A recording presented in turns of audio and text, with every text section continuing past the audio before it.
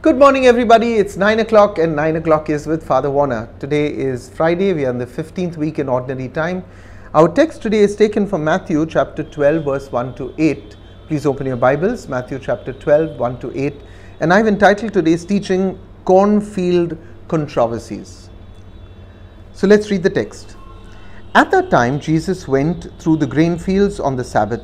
His disciples were hungry, and they began to pluck herds, heads of grain and to eat. When the Pharisees saw it, they said to him, Look, your disciples are doing what is not lawful to do on the Sabbath.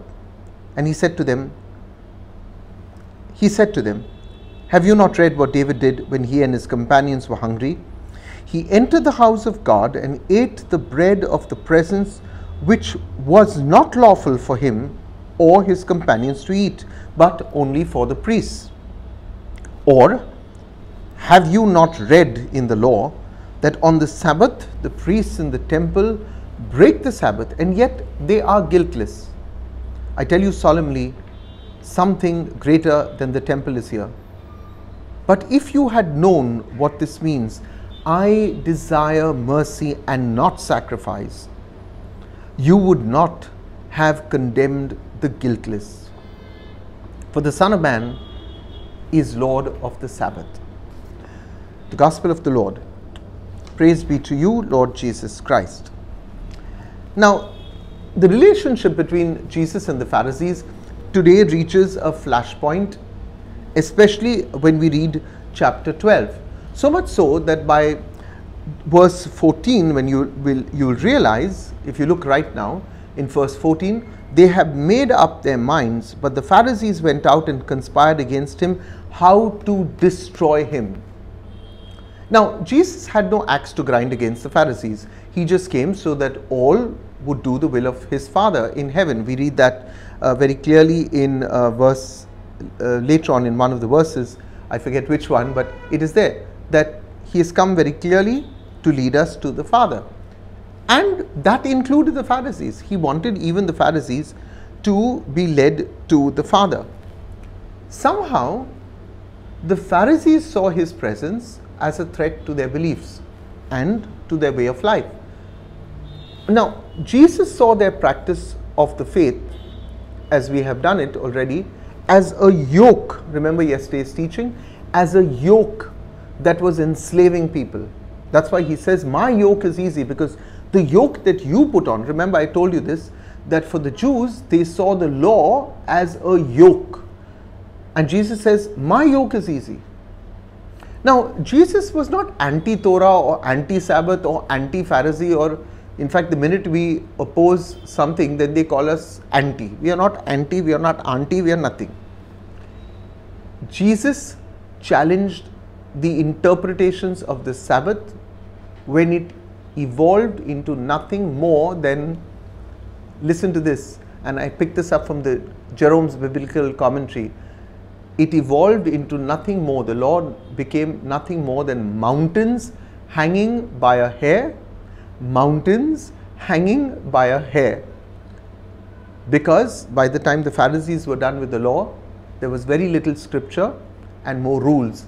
And sometimes i dare say that we are becoming that kind of church very little following of God's word and more of our own local rules and regulations, which I don't know whether our Lord would approve of.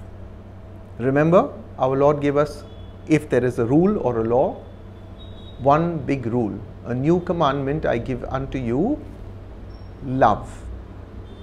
As one commentator once said many years ago, Jesus gave us one commandment to love, and everything else that he said was a commentary on that one commandment. It's a commentary. So let's not burden people with laws and rules without consulting what our Lord has to say to us.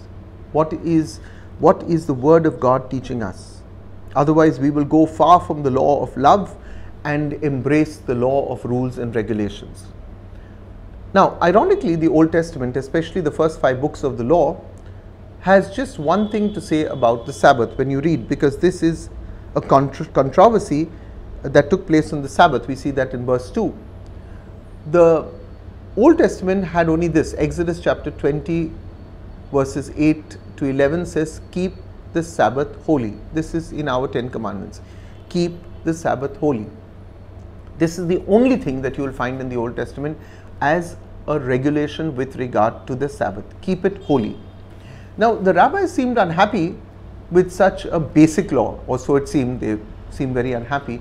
And therefore, in the course of time, they found it necessary to specify, and listen to this 39 actions as forbidden on the Sabbath. God gave us one single one keep the Sabbath holy, and then they added 39 prohibitions. Amongst them was the law that you could not reap, you could not winnow, you could not thresh, you could not prepare a meal. But remember that every law has an exception, and this was no different.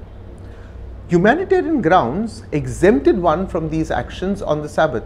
Saving a life took precedence over keeping the law. And dare I say this, if somebody says, please help me to go to the hospital and you say, well, I'm going to church because it's a Sunday and I have to keep the law, you just broke the law of God.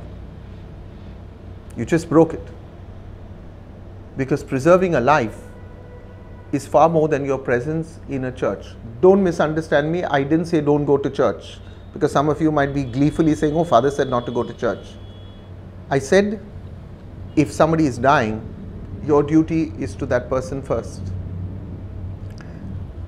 Now, the narrative in today's gospel, as I have said earlier in verse 2, takes place on the Sabbath. Jesus and his disciples walk down a very thin, narrow strip uh, between the cornfields.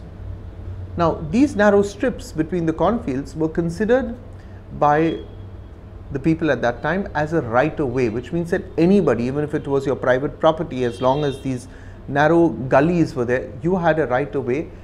And it is here that this Sabbath hunger, as it were, the, the hunger pangs kick in. And it is here that this controversy takes place in one of these narrow uh, little bylanes between the cornfields. Now, for the record, it was the disciples who picked the corn and ate it, not Jesus. Let's keep that in mind. Yet, um, these nitpicking uh, Pharisees, or should I call them corn picking Pharisees, don't correct the disciples. They don't have the courage, and this is what most people do. Yeah, they didn't have the courage uh, to correct the disciples. They find fault with Jesus. Your disciples are breaking the law. In reality, the disciples actually broke no law. Remember the exception made on humanitarian grounds that I spoke to you? That comes into play now. The disciples were hungry, and that was humanitarian ground enough to break the law. Now, to the modern mind, perhaps the act of walking through somebody's cornfield and plucking corn without the owner's permission seems like really the bigger crime. It seems like theft. So, we need to explain this one. The laws of the Old Testament were laid down with great sensitivity for the good of humankind, unlike the laws very often today. At least the laws today are on paper, in reality, it's another thing. Unfortunately, humankind interpreted God's laws by their own understanding. So, there was no crime of stealing that could stick to the disciples because the law at that time permitted the hungry traveler to pick grains to eat so long as they did it with their hands and not with a sickle. If you did it with a sickle, it was theft. If you just broke and ate what you needed, that was permitted in those days. In brief, if you're hungry, eat and don't starve. That was what the law was. Now, Jesus uses the law to justify the actions of his disciples. He quotes David and his hungry men who ate the bread meant for the priests, permitted again on humanitarian grounds. He cites the examples of the priest who performed double duty on the Sabbath, for on this day the offerings obviously double, there was more work to do. Most of all, he reflects the mind of God through the words of the prophet Hosea when he says, I am a God who desires mercy, not just sacrifice. Is your life full of sacrifice, offering everything else, and not one of mercy? Pope Francis gave us that beautiful year of mercy to remind us of our Christian calling to love, to be kind, to be merciful. Now, if the Pharisees wanted to pick a real fight, they ought to have done better than just starting, as I would call it, a cornfield controversy. But as we will go on to see, they're going to pick on many, many fights. And these little fights will take our Lord to his cross. Does Jesus run away from the battlefield because somebody else is unethical in their behavior? The answer is no. He confronts his accusers. I want to say this with great love. Very often, our adversaries are powerful people. They are people who wish to bring you down, or sometimes they're just mean people. Whenever you are faced with tough adversaries, go to the Lord. Just go to Him in prayer. And what you can't do by fighting back, our Lord does through His angels. In the name of the Father, the Son, and the Holy Spirit, Amen. Lord our God, today we know how you were attacked. Attacked for no wrong that you did. The Pharisees just wanted to pick faults with you. They attack your disciples and complain to you as if to say you are a bad master, you are a bad teacher, you are a bad rabbi. Lord, in our lives we have experienced people who have attacked us, criticized us, pulled us down. And very often, Lord, we have done only good. But today, you teach us not to respond in anger. You responded to the Pharisees by clearly explaining where you come from. They should have known the law, but you decided to teach them and remind them of the law once again. You did it ever so gently, ever so kindly. And even then, today's scripture tells us that they went out and plotted how to destroy you.